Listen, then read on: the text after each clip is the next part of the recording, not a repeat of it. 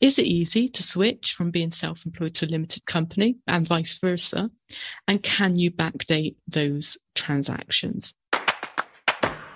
So let's start with the second part of that question. Can you backdate? Well, the simple answer to that is no. As I mentioned in the very first episode, when you're self employed, your business is you and you are your business. Like there's no separation. Whereas if you trade through a limited company, what happened when you incorporated that company? So when it was set up, you created a separate legal entity to yourself. And that kind of means that any business activity a limited company has doesn't belong to you. It has to sort of pass through. I always describe it as a bit of a funnel, I suppose, before it reaches you. And for that reason, if your limited company has been trading, you can't then suddenly go, oh, that trade didn't belong to a limited company. It actually belonged to me. And sort of vice versa. You can't trade yourself, self employed, and then go, oh, actually, those transactions belonged to a limited company. I mean, for starters, the limited company would have needed to exist. But again, it's because of that sort of separation. You can't sort of move things across. Now, I get asked this most of the time once the first year of trading has been sort of completed, and it's normally driven by tax. So if you had um, a limited company and say your profits came in at 10,000, if you'd been self-employed, there would have been a minimal amount of national insurance to pay on that. If you trade through a limited company, there would be corporation tax to pay on it at 19%. So we jump from a difference of, you know, a couple of hundred pound national insurance to nearly two thousand pounds in corporation tax. And that's when a lot of people sort of maybe panic and start thinking about backdating. So as you know that that option's not on the table, it is worth, you know, really spending the time when you are starting your business to think about what you plan on achieving, whether that's sort of doing a rough cash flow, even just sort of an estimate based upon, you know, uh, finger in the air daily rate or, you know, how many products you expect to sell to give yourself an idea of where you might end up at the year end so you don't get any sort of surprise tax bills. So the next sort of question is how easy is it to switch? The first part of that is closing down whatever one you're currently doing. So if you're self-employed, you will need to close that down in order to move over to a limited company. And if you want to trade, you know, if you're a limited company and you then want to trade self-employed, you will need to close down that limited company as well. Both of those are reasonably simple to do. If you are self-employed, it will just be a case of on your next self-assessment, you would tell HMRC the date that the um, the self-employment ceased. And that will sort of close your record off with HMRC.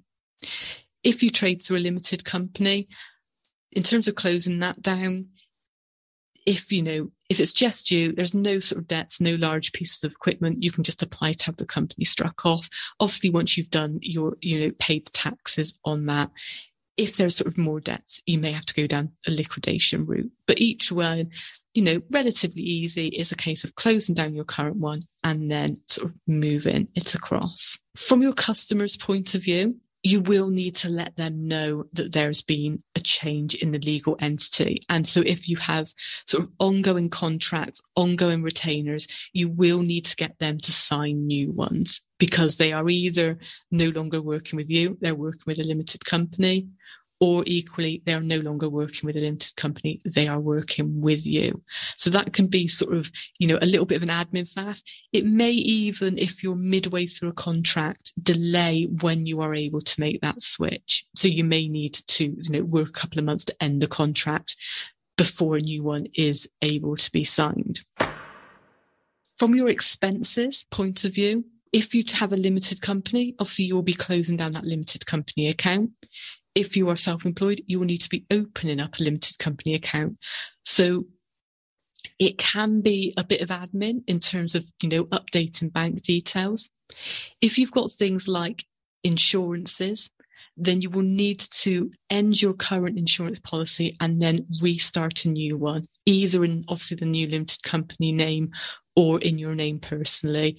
What you don't want to do is keep the business that you've now closed down insured and not have your current one sort of insured. So neither one, whether it's customers or expenses, is overly complicated to do. It's just kind of recognizing that the legal entity is changing one way or another, and new contracts and new policies and things like that need to be in place.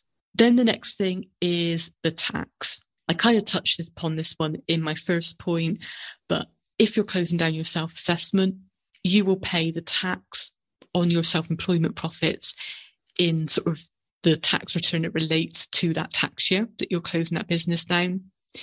If you're closing down a limited company, you will need to let HMRC know and any corporation tax will need to be paid. So even if you're just striking off a company, you know, if, it, if it's had sort of minimal activity and it's easier to sort of walk away from, HMRC will expect a final tax return to be sent. So the tax will need to be rounded off. Now, one bit that can be a bit of a sticky point is if you have loans and or if you have large pieces of equipment because if you have any loans then the loans will belong to your current business and not your new one so if you're closing down a limited company to become self-employed you can't just take that loan with you. You will need to look at what the conditions were of the loan. So if the loan was guaranteed by yourself it may actually follow you.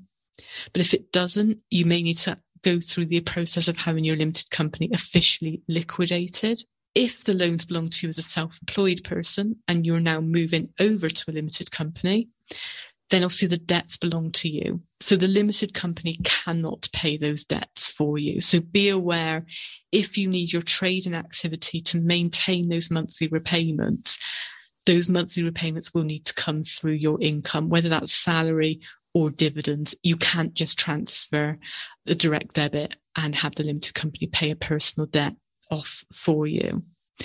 The same kind of with equipment, your new company or your new business will need to purchase those from your old company or business.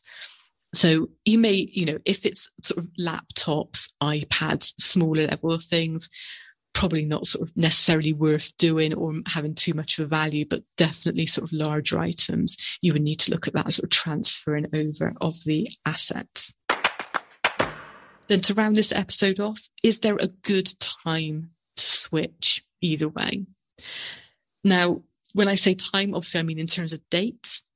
Sometimes people like to keep it to a tax year. So you might make the decision, you know, I'm recording this now in May you might kind of go, okay, well, I'm in the current tax year. I will just wait until end of March next year, round off the year, then start afresh. Next tax year, I'm going to be either a limited company or self-employed.